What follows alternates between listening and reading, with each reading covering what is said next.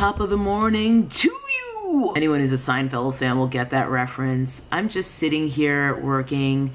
It's about a quarter to eight.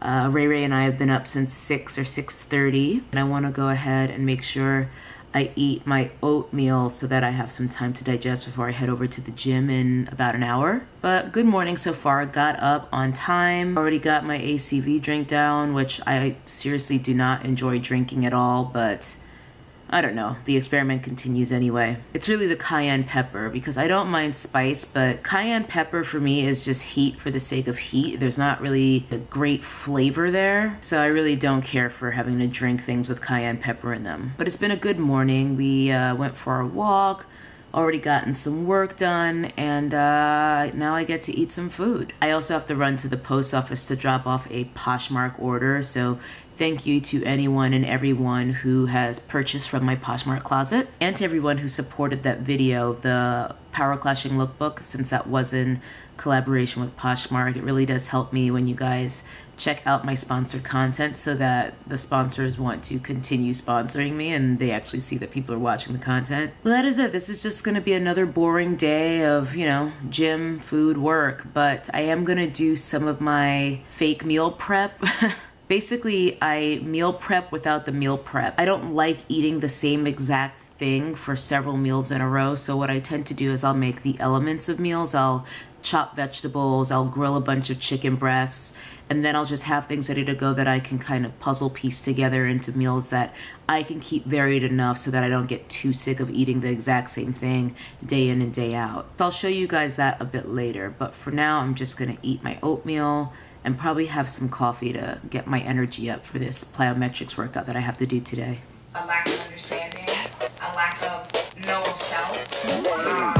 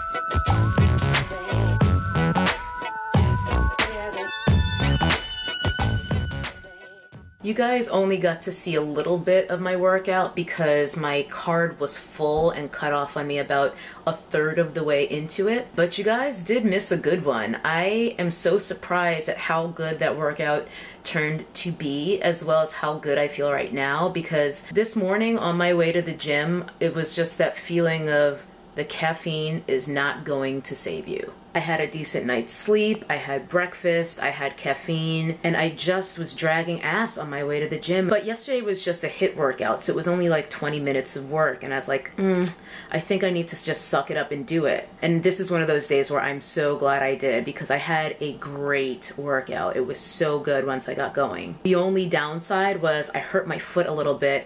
I'm pretty sure I did get footage of me doing one leg box jumps, which is a new move for me. I remember trying it maybe once before before, literally trying only one rep to see if I could.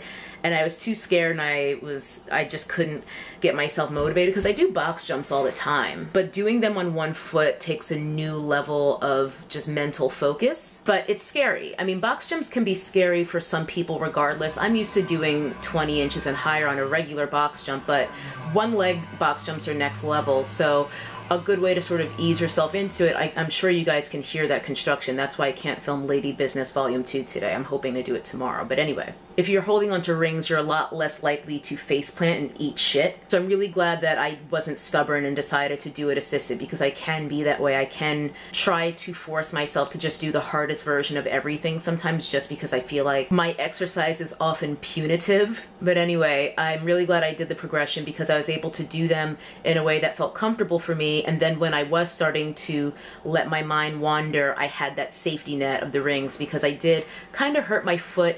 Uh, I missed a couple of them in set two or three, and my foot just kind of landed on the edge of the box, which is kind of a sharp edge. And I work out in sneakers that basically simulate being barefoot, so they have a very thin, uh, puncture-resistant rubber sole. It's it's as close to being barefoot as you can get while still actually wearing shoes. So imagine landing hard on a on a metal surface with your barefoot. That's what it feels like. So I am almost certain I bruised the bottom of my foot, which is like the worst place to get a bruise. If you've ever experienced it, you know what I mean. Because when you get a bruise anywhere, when you press on it, it fucking hurts. So having a bruise on the bottom of your foot is like pressing on a bruise with every step.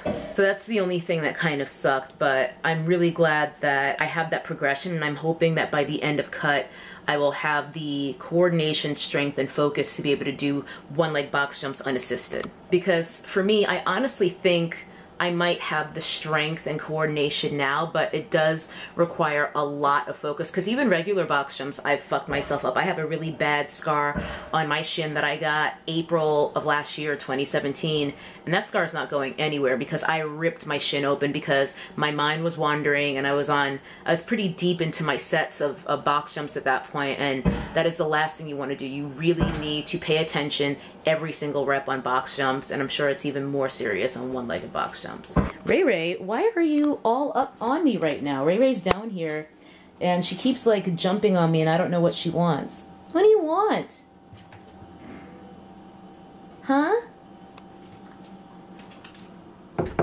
Ray Ray does not like being filmed, by the way.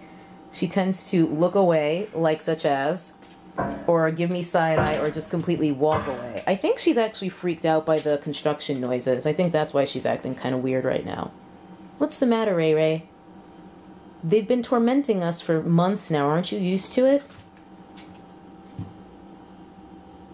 Anyway, great workout. I've had great workouts the past, I would say, three workouts in a row, so I'm feeling really happy.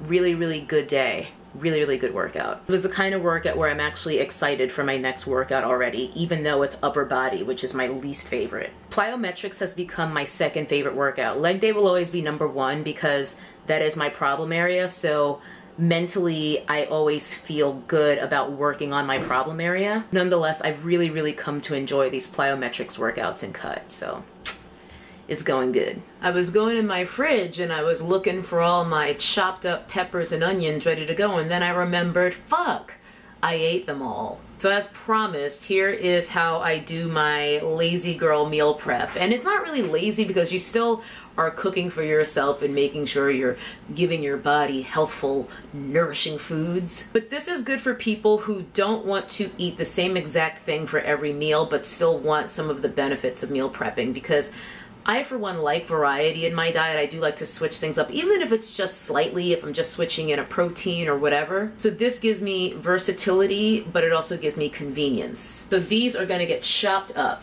I'm also gonna chop up these onions, which I had already, so I didn't need to buy more, but I will after this, because those are my last ones. And then um, I've got ground turkey, which I just make to order. I also have some chicken breasts that I took from my freezer stash of quality protein. So once I'm done chopping these vegetables, I'm going to season and probably just grill in my grill pan that chicken or maybe I'll slow cook it. I might do, I might crock pot. We'll see.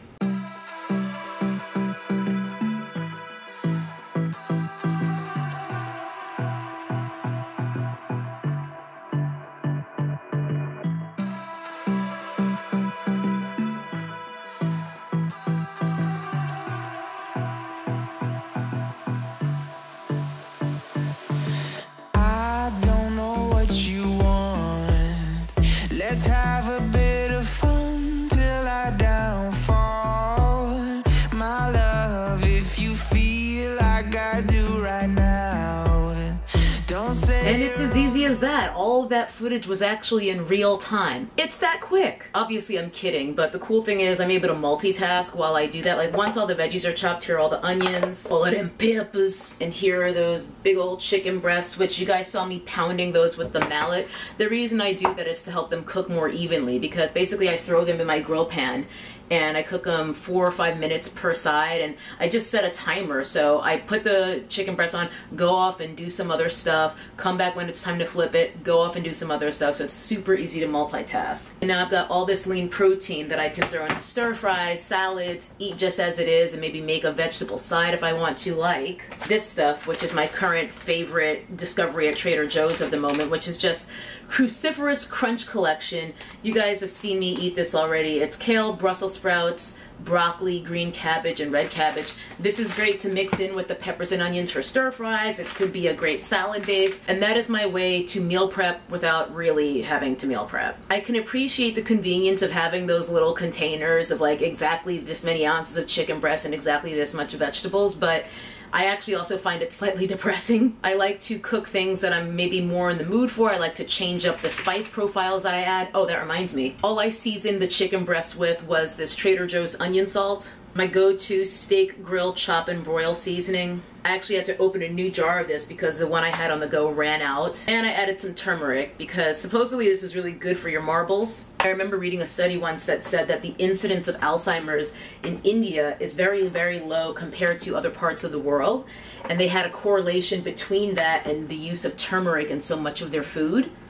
And ever since then, I put turmeric in my dishes way more than I used to when I remember, which is kind of ironic. And that is it. Once I pound the chicken, season it, grill it. Sometimes I'll throw it in the slow cooker, but I just wanted it to be cooked and ready to eat because I'm hungry right now. So I'm going to go ahead and probably whip up a quick stir fry, I think, with some of this chicken, some of this, some of my mise en place that I just chopped, and some potato for carbs.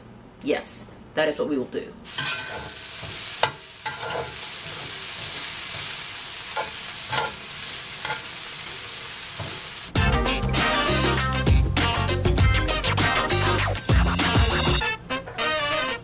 It is balls hot outside today, Port Ray Ray. She's schwitzing. This is the time of year when I have to start putting ice cubes in her water dish so she has water that's nice and cold. And then she gets all of her water in her beard. But in other news, today has been great. Nothing special today, really just a regular degler day. As I said before it was today. I told you guys yesterday it was just gonna be working out, work, blah, blah, blah. But you guys, I think, I think I might be in the zone.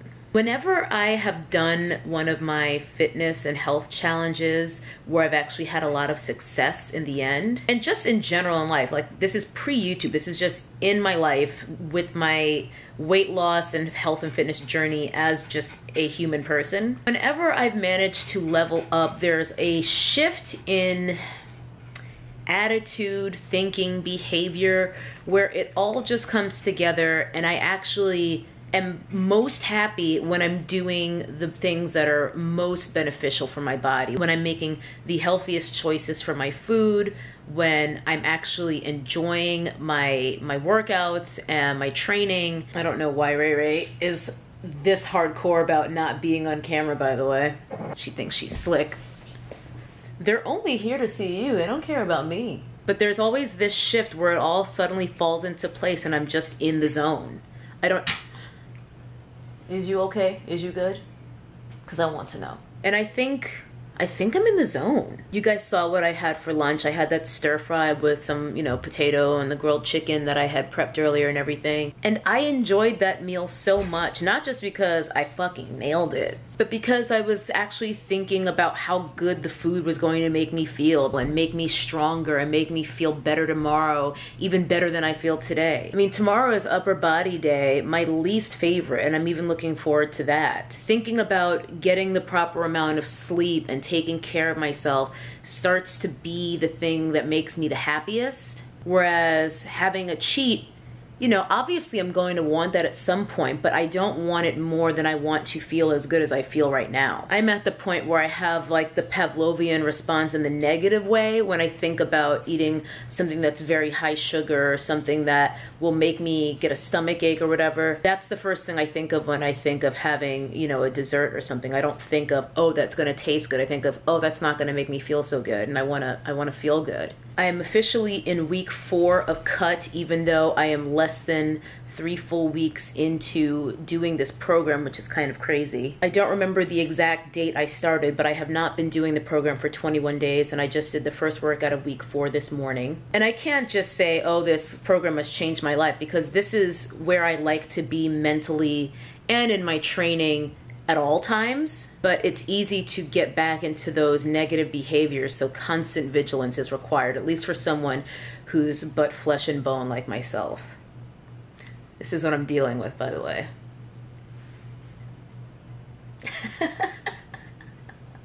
Are you all right? You're wagging your tail, so you must be pretty happy. I'm gonna sit closer to you. Is that okay? Anyway, I'm just feeling really, really happy and really excited for tomorrow. A great workout paired with just a super productive day, paired with really nourishing food I'm just, I'm feeling really good. I'm just high on life right now.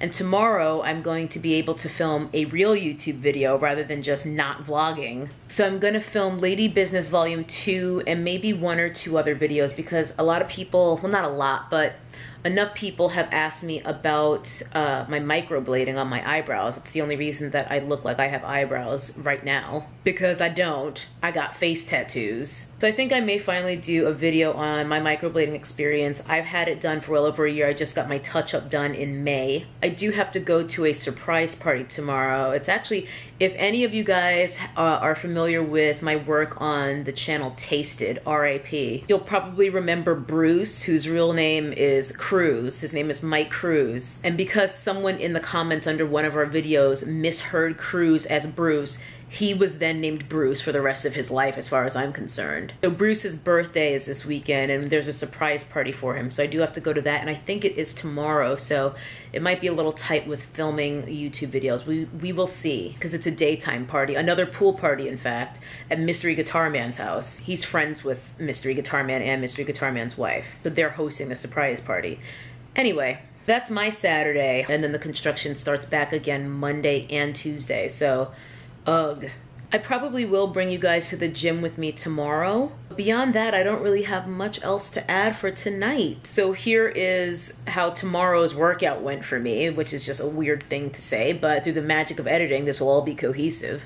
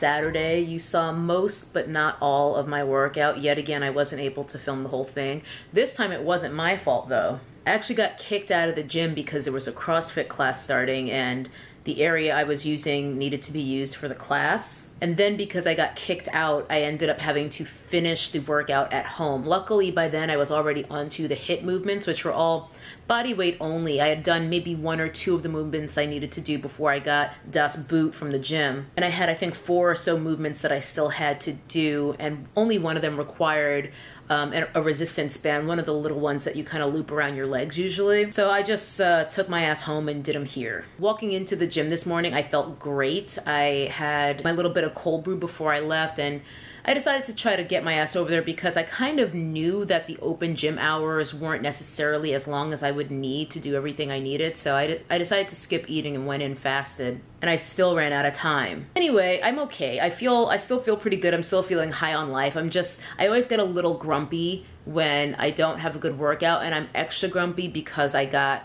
the boot from the gym and that just really grinds my gears because I just pay too much damn money to not be able to finish my workout because they want to do some class. You know what I mean? Like they should have some sort of space that people can still do their own thing in my opinion. Came home, ate my overnight oats, still doing the banana peanut butter, but I did pick up some almond butter because I think I already mentioned to you guys in my last not vlog, I am trying to get off of peanut butter.